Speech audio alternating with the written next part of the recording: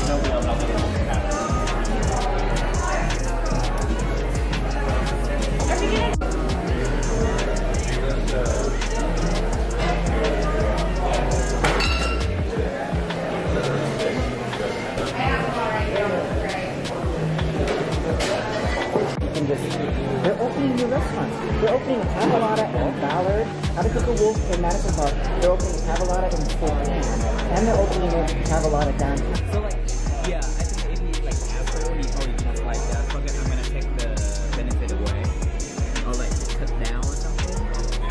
Because like, so if you buy a mug.